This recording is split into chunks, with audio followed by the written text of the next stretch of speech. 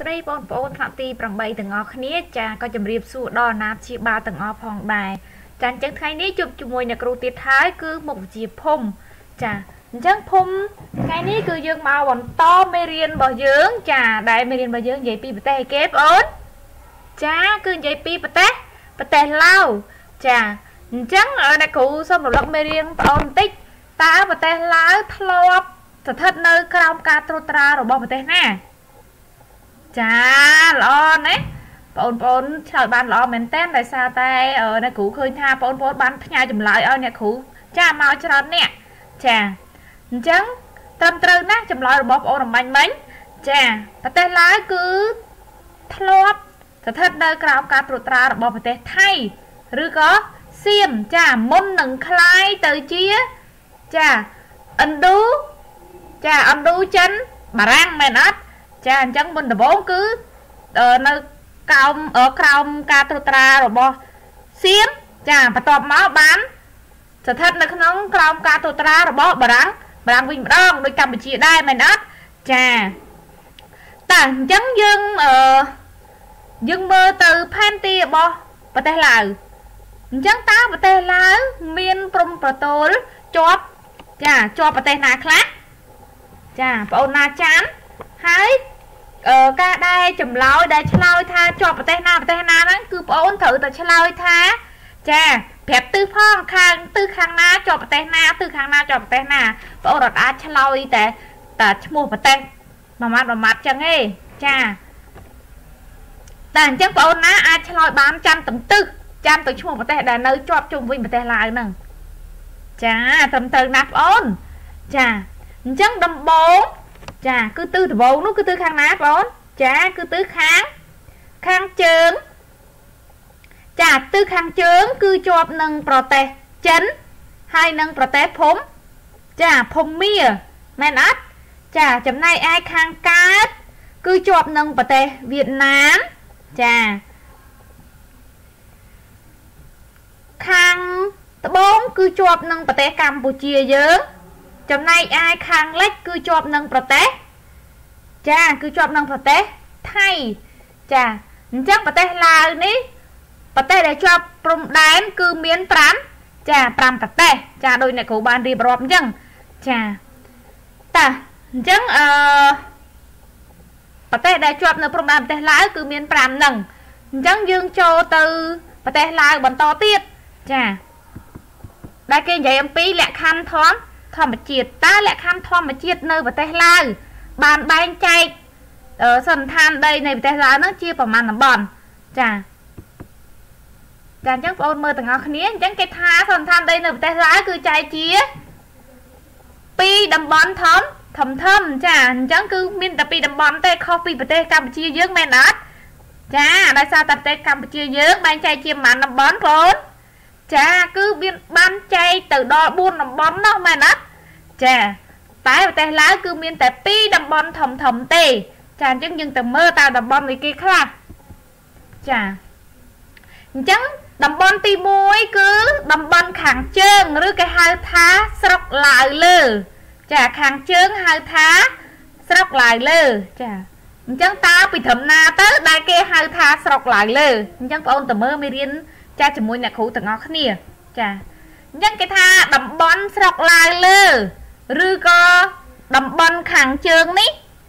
គឺនៅខាងជើងក្រុងវៀងច័ន្ទចានៅខាងជើងក្រុងវៀងច័ន្ទ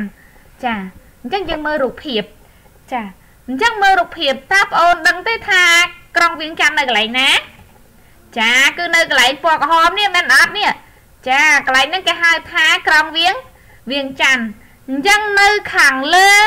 ចាប់ពីខាងលើក្រុងវៀងច័ន្ទទៅជើង អាហ្នឹងគេហៅថាឡាវចាគេហៅថាឡាវឡាវលើចាអញ្ចឹងបងអូនត្រូវចាំឲ្យច្បាស់ណាចាអញ្ចឹងគេថាខាងជើងក្រុងវៀងច័ន្ទឬក៏អឺចាប់ពីក្រុងវៀងច័ន្ទទៅលើហ្នឹងគេហៅថាឡាវលើចាចានេះគឺជាក្រុងវៀងច័ន្ទចាអញ្ចឹងចាប់ពីត្រឹមនឹងរហូតទៅដល់ចាខាងលើនេះគេហៅថាស្រុកឡាវលើចាតែអញ្ចឹងយើងទៅមើលបន្តទៀតអញ្ចឹងគេថា ភ្នំសំខាន់សំខាន់មានកម្ពស់លើសពី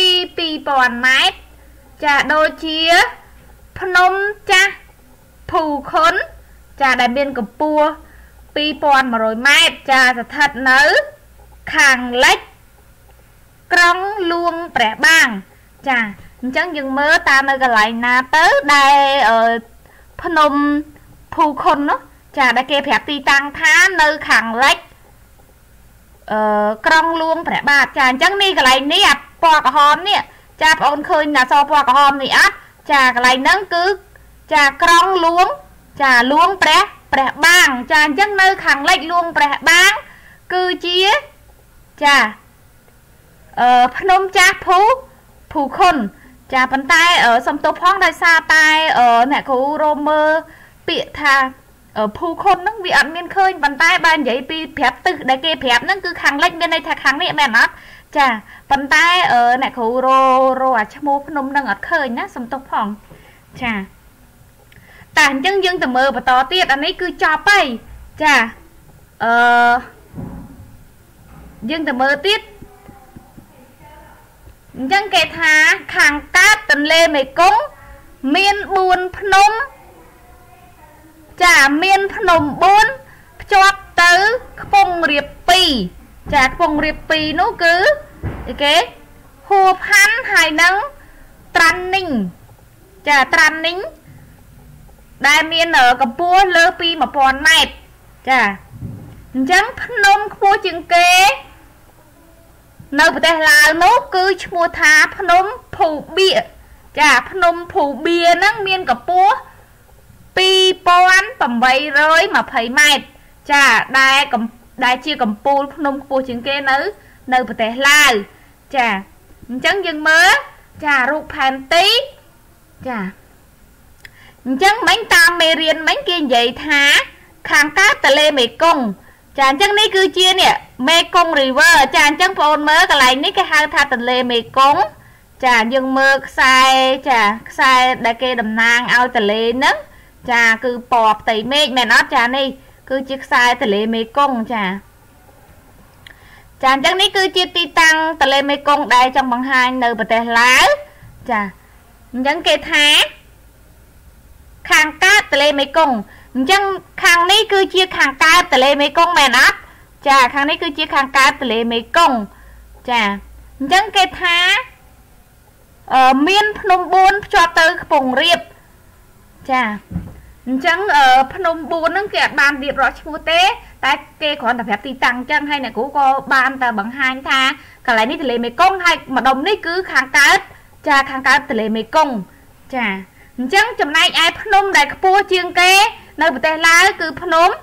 ចានេះបងមើលអសរទៅឃើញអត់នេះចាគឺភ្នំភូបៀ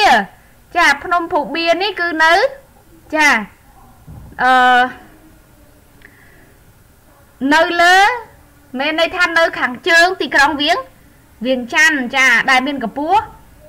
ខ្ពស់ជាងគេនៅប្រទេសឡាវហើយដូចជាខ្ពស់ជាងគេនៅអាស៊ីអាគ្នេយ៍របស់យើងទៀតចំណែកឯភ្នំរបស់ប្រទេសកម្ពុជាយើងខ្ពស់ជាងគេគឺភ្នំមួយគេបងអូនចាគឺភ្នំអោអោរ៉ាដែលមានកម្ពស់ចា1813ចា13ម៉ែត្រចំណែកឯភ្នំភូបៀននេះគឺមានទៅដល់2000ឯណោះមានន័យថាខ្ពស់ ចាខ្ពស់ជាងភ្នំរបស់យើងទៀតចាហើយក៏ជាភ្នំមួយដែលខ្ពស់ជាងគេនៅអាស៊ីអាគ្នេយ៍ផងដែរចាអញ្ចឹងអឺព័ត៌មានដែលគេបានប្រាប់តេតូននឹងឡាយលើហ្នឹងគឺចាប់ត្រឹមហ្នឹងចាតែអញ្ចឹងយើងទៅមើលបន្ទាប់ទៀតចានេះគឺជារូបរាងភ្នំចាដែលចង់បង្ហាញពីភ្នំភូបៀនឹងឯងដែលមានកម្ពស់ខ្ពស់ជាងគេនៅអាស៊ីអាគ្នេយ៍ចាតែអញ្ចឹងយើងទៅមើលបន្តទៀត គឺយើងទៅមើលឡាវខាងត្បូងឬក៏ស្រុកឡាវក្រោមចាអញ្ចឹងគេថាតំបន់ខាងត្បូងឬស្រុកឡាវក្រោមនេះគឺលាតសន្ធឹងពីទីក្រុងវៀងច័ន្ទដល់ព្រំដែនប្រទេសកម្ពុជា ដែលជាតំបន់សម្បូរខ្ពង់រាបនិងមានចំណោតទៀបទៅទៀបទៅចាពីកើតទៅលិច និងពីជើងទៅទៅត្បូង ចាអញ្ចឹងនេះគឺជារូបផែនទីនៃប្រទេសឡាវចាហើយកន្លែងនេះគឺភូបៀចាភ្នំដែលមានកម្ពស់ខ្ពស់ជាងគេចាអញ្ចឹងគេបានរៀបរាប់ហើយថាឡាវខាងត្បូងនេះគឺគេគិតចាប់ពីទីក្រុងវៀងច័ន្ទចារហូតទៅដល់ព្រំដែននៃប្រទេសកម្ពុជាកម្ពុជា ចាអញ្ចឹងមានន័យថាទីក្រុងវៀងច័ន្ទចុះមកក្រោមរហូតដល់ព្រំដែនប្រទេសកម្ពុជាគេហៅថាឡាវ ឡាវក្រោមឬក៏ឡាវឡាវខាងត្បូងដែលមានចំណោតចុះទៀបទៅទៀបទៅមែនអត់ចាអាហ្នឹងហើយគេហៅថាឡាវឡាវខាងត្បូងចាតាអញ្ចឹងមេរៀនចំណុចទី1ហ្នឹងគឺចប់ត្រឹមហ្នឹងអញ្ចឹងពេលបងអូនចាំមើលវីដេអូនេះហើយបងអូនអានមេរៀនផ្ញើឲ្យអ្នកគ្រូចាហើយសរសេរមេរៀនចាចំណុច ទាំងឡើងលើ ទាំងឡើងក្រោមហ្នឹងចាផ្ញើឲ្យអ្នកគ្រូណាចាអរគុណច្រើនសម្រាប់ការចូលរួមរបស់បងប្អូនទាំងអស់គ្នា